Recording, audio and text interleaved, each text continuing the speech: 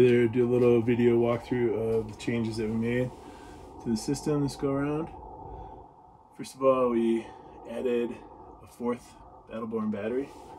So you can see there was just a little bit of space that was left in the original install here in the bench. This is where our couch used to be, and this is a custom bench that was built by Eddie Glonick. The top is not on obviously right now, but it does have a, a cover with a uh, cushion. But uh, he had left just enough space to the left of the three original batteries. So the fourth battery is now in place and uh, giving us more capacity, 400 amp hours of lithium. On top of that, we had added a second inverter. As you can see that we have a Victron Multiplus 3000, which is inverter charger. It's an amazing inverter and that powers pretty much everything that we need here in our rig, which includes uh, appliances like uh, air fryer or um, coffee maker, uh, microwave, etc., toaster oven. Um, but it does use a lot of power um, at idle when it's just sitting there not doing a whole lot.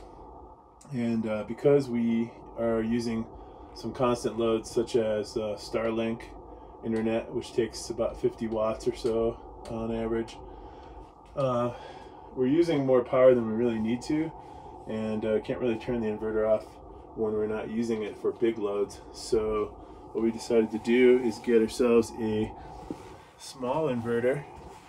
This is a Victron Phoenix 250 watt inverter. So it can only handle uh, surges up to 400 watts, but it's perfect for small loads like the uh, Starlink internet, the router and the um, satellite dish.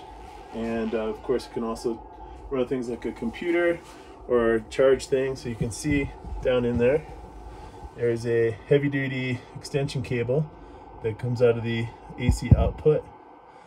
And that runs underneath the belly of the camper underneath under and pops out over here in this little cabinet which is empty at the moment.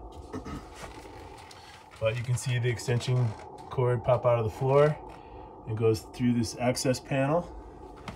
And then we added a outlet right here and you can see it says 250 watt max load on it.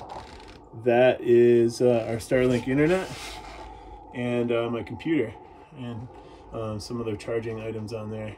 So really great to have um, a dedicated outlet which has its own inverter. So what's nice about it is that we can turn on and off because it's not a smart inverter but it can be read by the by the Cerbo. This is the screen that is an extension of the Cerbo GX, which is right here. And this was uh, using a VE direct cable, which goes in the back here. Can't quite see it. Uh, via a, a, a VE direct to USB, and that allows the Cerbo to see the inverter. So as you can see, here's our main inverter and getting a little afternoon sun here. The main inverter is on and so is the Phoenix inverter. This uh, allows us to remotely control it through the panel. So it can simply turn it on and off right here and uh, or put it into eco mode. And you can see that it's putting out somewhere between 70 and 80 watts right now. Um, and uh, the multi-plus as well can be turned off and all sorts of things. Um, can be done to the multipluses, it's, it's a little smarter.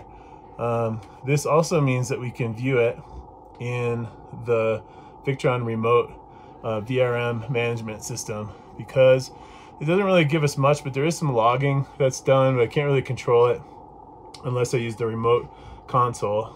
So, uh, but a huge upgrade in the fact that we have another 100 amp hours of battery, so now four and we have uh, now this Phoenix small inverter The reason we chose the Phoenix is for one, we know it, it, could, it could talk, at least in a limited way, to the GX um, to so that we can um, view it within the panel so that when we have our bench in the, as a seat, it's a little inconvenient to flip the inverter on and off. They do make a remote switch for it, but since we can do it with our software, uh, we don't really need to do that. And of course, if you really needed to, you could just reach in there and hit the switch. But that would in, uh, require us to dismantle our couch. So pretty sweet. Uh, in eco mode, supposedly it uh, runs uh, under one watt of uh, standby. So the idea would be that whenever um, we're not making power via solar, that we would just turn off the main inverter when we're not using it, especially at night uh, when we're sleeping. And you can just turn it off and save a bunch of power and a bunch of standby power, as well as um, just keep wear and tear down on the big multi plus. So that's the upgrade in the battery.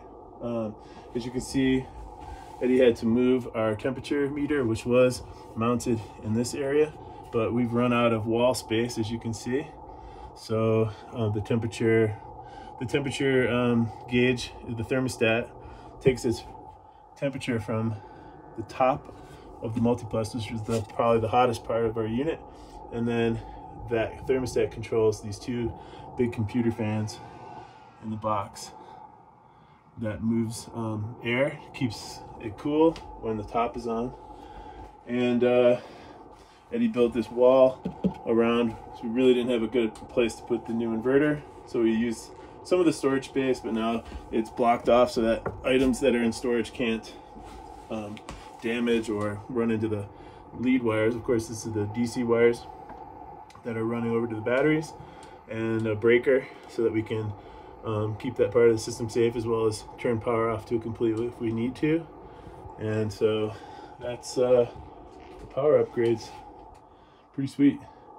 Uh, in addition to that, I extended our DC power. We have this neat little DC power box which will um, power a laptop up to 70, I think 75 watts, uh, USB-C. So um, this cable that's running out of it runs up under the cabinet and then has an extension that pops out here in the wall so that uh, previously we just had our cables coming out of this door which wasn't too bad but now we have a nice dedicated power uh, area that is uh, kind of tucked in out of the way in a corner so we have USB A um, which is a high power and uh, power delivery coming out of the wall, which is just an extended um, port from the um, unit that's inside the cabinet.